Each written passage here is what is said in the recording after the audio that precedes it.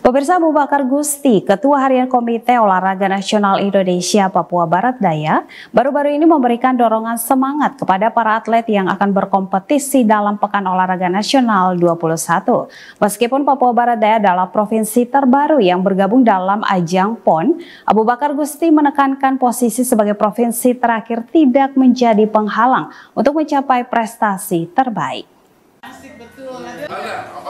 Dalam arahannya, Gusti menekankan keberadaan Papua Barat Daya sebagai provinsi terakhir justru menjadi motivasi tambahan untuk menunjukkan kemampuan dan dedikasi yang tinggi. Ia percaya meskipun baru dalam arena olahraga nasional, para atlet Papua Barat Daya memiliki potensi besar untuk ber...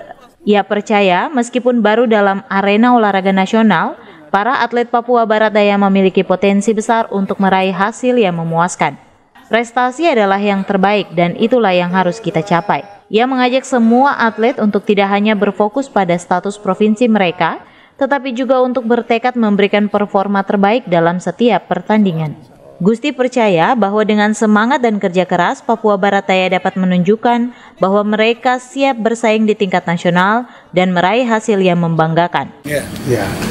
Saya atas nama PONI Provinsi Papua Barat Daya menyampaikan apresiasi kepada Pak Gubernur dalam hal ini diwakili oleh Pak Kadispora yang mau datang melihat kesiapan kita di Aceh maupun Sumatera Utara.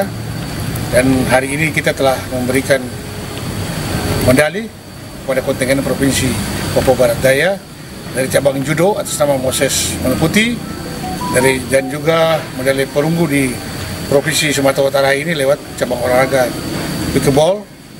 Itu juga mendapat medali perunggu kita harapkan semoga medali ini membuka jalan bagi atlet-atlet yang lain untuk bisa memberikan prestasi juga buat Provinsi Papua Barat Daya sehingga Provinsi Papua Barat Daya benderanya dapat berkibar di PON ke-21 tahun 2024 Aceh dan Sumatera Utara.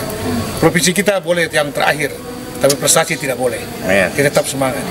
Saya mohon sekali lagi dukungan, doa, restu dari seluruh lapisan masyarakat Provinsi Papua Barat Daya kepada Motivasi ini diharapkan dapat memacu semangat para atlet untuk berlatih lebih keras dan berkompetensi dengan penuh percaya diri. Dengan dukungan penuh KONI Papua Barat Daya, Gusti berharap atlet-atletnya akan tampil optimal dan memberikan yang terbaik dalam PON 21 Aceh dan Sumatera Utara ini.